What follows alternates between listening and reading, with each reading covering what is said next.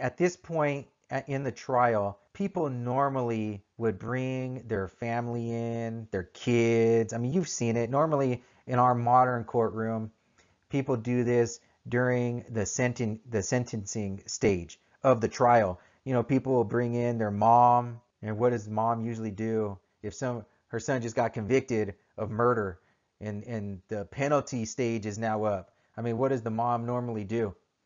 Usually starts crying, right? Oh, he was such a good boy. I don't know what happened. Tears coming down.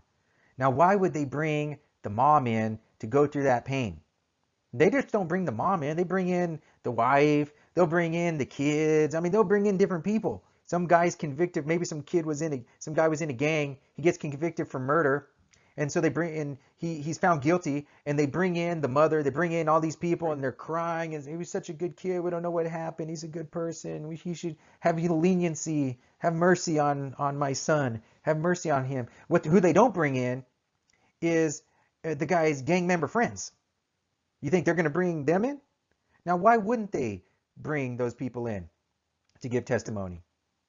Because it's not going to be very helpful because at, normally at this stage of the trial, you are trying to elicit some sort of pity for the person so that the judge and the jury can go lenient on the sentencing.